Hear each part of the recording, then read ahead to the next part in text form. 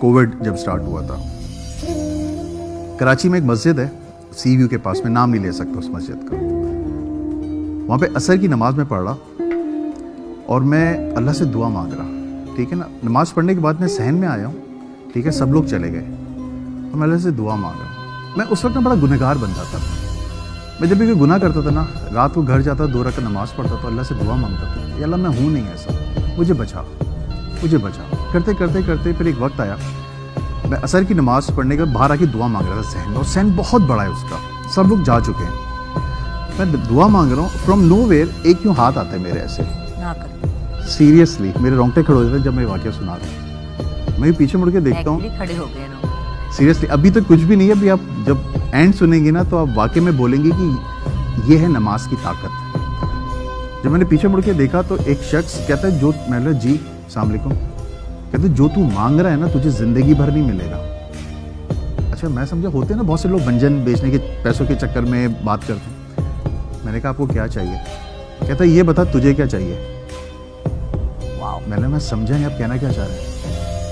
कह रहे, बेटा, जो अभी तू आया है, दुनिया की मोहब्बत में नमाज़ पढ़ने। जिस दिन तू खुदा की मोहब्बत में नमाज़ पढ़ने आएगा ना, तेरे हाथ उठाने से पहले तेरी दुआ होगी क्या मैंने कहा मैं मैं नहीं समझ पा रहा हूँ। कह रहे काम कर। तू फिर से वज़ू कर। फिर से असर की नमाज़ पढ़ और अल्लाह से कह कि अल्लाह ताला मैं तेरी मोहब्बत में पढ़ रहा हूँ नमाज़। मुझे जो मैं दुआ मांग रहा हूँ वो मेरी दुआ कबूल कर लो। वो बड़ी खतरनाक दुआ थी मेरी। कोविड था एक साल के लिए सब कुछ बंद हो गया था। कह रहा अगर तेरी दुआ कबूल हो जाती ना तो फिर तूने पीछे मुड़ के नहीं देखना। जो तेरी पीछे वाली लाइफ है मत देखना उसको। मैं उस शख्स को यूँ देख रहा हूँ मैंने कहा, मैं दुआ कंप्लीट कर लूँ। कहता हाँ कर। जुगन, ये शख्स यहाँ बैठा हुआ है और मैंने सिर्फ़ दुरू शरीफ पढ़ा अल्लाह सल्ली अला मोहम्मद वाल आली मोहम्मद। और मैंने यूँ हाथ फेरे। और मैंने पीछे मुड़ के देखा, बंदा गायब, सहन बहुत बड़ा है। सामने मौजन साहब खड़े हुए थे। मैं मौजन साहब के पास गया। मैंने मौजन साहब, जो शख्स मैं अभी जिस शख्स से बात कर रहा था, वो किधर है?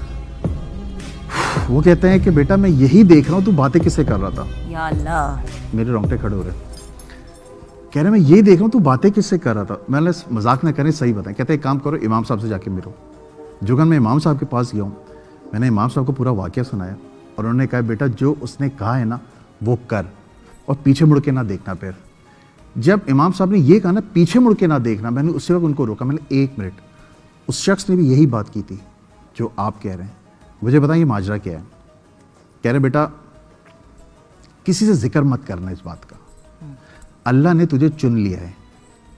यहाँ पे असर के बाद होती है जिनों की नमाज़। कई बहुत, कई कई सालों के बाद एक बंदा, तू दूसरा बंदा है मेरी ज़िंदगी, मुझे 20 साल हो गए यहाँ पे।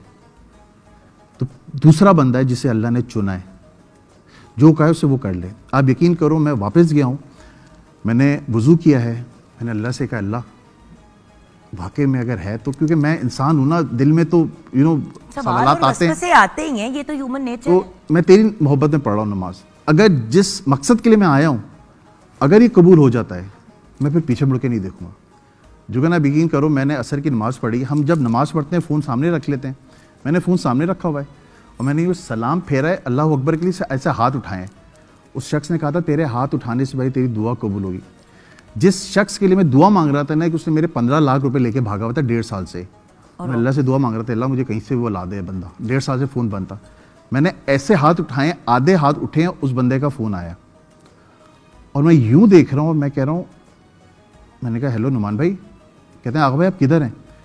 मैंने कहा मैं इस मस्जिद में नमाज़ पढ़ूँ कह रहा उधर है पंद्रह मिनट में आ रहा हूँ। अब पंद्रह मिनट ही याद रखना। कह रहे हैं पंद्रह मिनट में आ रहा हूँ। पंद्रह मिनट के बाद वो शख्स आया उसने मुझे कॉल की मैं बाहर गया हूँ गाड़ी में बैठा हूँ। उस शख्स ने पंद्रह लाख कैश मेरे हाथ में दिए हैं। ये 2019 कोविड तब स्टार्ट हो गया था।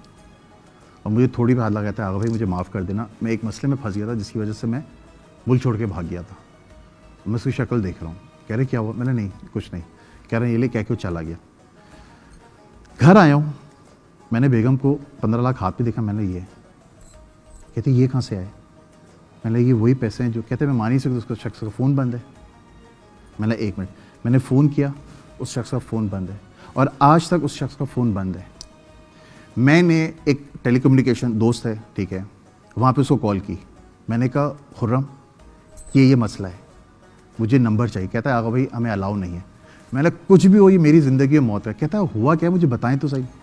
मैं उसको पूरा वाक्य सुनाया कहता है, यार, मैं मान नहीं सकता। मैंने भाई, कर दे यार। मैं वो डेटा देखना चाह रहा हूँ, वो नंबर अभी किधर है, उसका किसी तरह निकालो मालूम तकरीबन ढाई या तीन घंटे के बाद उसने डेटा शीट भेजी मुझे व्हाट्सएप किया उस नंबर से पहले मेरी मदर की कॉल थी कि किधर हो तुम? मैंने कहा, मैं नमाज़ पढ़ के आ रहा हूँ। और उसके बाद मेरी वाइफ ही कॉल थी। वो ना वाइफ कॉल करते हैं, आते हुए किलो दही ले आइएगा, ये ले आइएगा, वो ले आइएगा। बीच में जो पंद्रह मिनट की कन्वर्जेशन थी ना, जो कॉल आना, ये सब, वो नहीं था सिस्टम में। वो पंद्रह मिनट जो मेरी लाइफ में जो भी कुछ हुआ है वो सब चीज़ें मिट चुकी हैं। और और ना और उस बंदे से फिर आपका वो जो नुमान भाई है उनसे ना आज आपकी बात हुई ना मुलाकात आज तक हुई? फ़ोन बंद है। यानी कि चार पाँच साल से आपने नहीं है। बंद है सब कुछ। उस वक्त मैंने देखा नमाज़ की ताकत क्या चीज़ होती है। बस। उसके बाद से मैंने पीछे मुड़ के नहीं देखा।